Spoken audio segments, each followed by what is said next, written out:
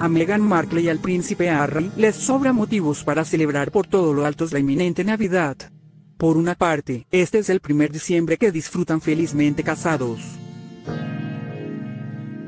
Por otro lado, son las últimas fiestas que festejan como matrimonio sin hijos, ya que la próxima primavera los duques de Sussex se convertirán en papás.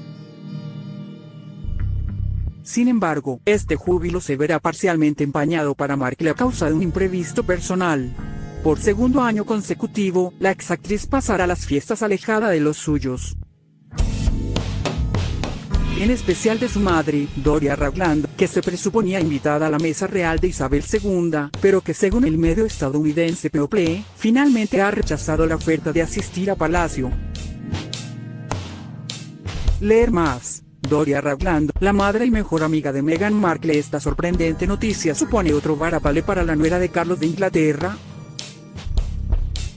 que desde hace semanas se encuentra envuelta en una algarabía de rumores y noticias virales que la tachan de complicada y déspota por parte del personal de Palacio. Compleja situación que, por si fuera poco, se suma al sonado rifirrafe real con su cuñada, Kate Middleton, con la que se sentará a comer en la Navidad de Sandringham House, Junto al resto de los Windsor por el momento, se desconocen los motivos por los que Ragland, trabajadora social de 62 años, ha declinado la suntuosa oferta de compartir cubiertos y mantel con la monarquía. La famosa invitación se filtró hace unas semanas a los medios y resultaba inaudita, ya que este ofrecimiento nunca ha sido extendido a la familia de Middleton, esposa del príncipe Guillermo desde el año 2011. Sin embargo, parece que la presencia normativa impuesta por Markle ha calado en las férreas leyes protocolarias y costumbres de Palacio, asunto que le ha granjeado cierta fama de controladora. El adjetivo fue usado por su propio padre para describirla el pasado lunes, durante una entrevista televisada en directo desde San Diego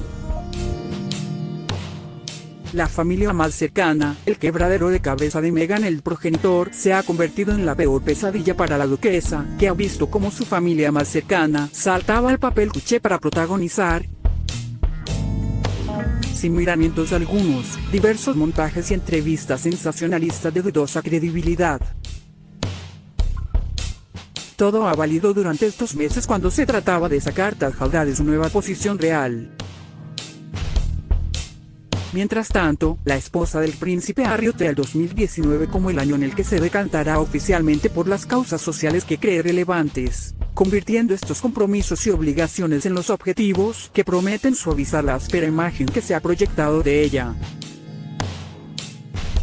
El padre de Meghan Markle, entrevistado en directo, le escribo a diario, pero nunca responde leer más.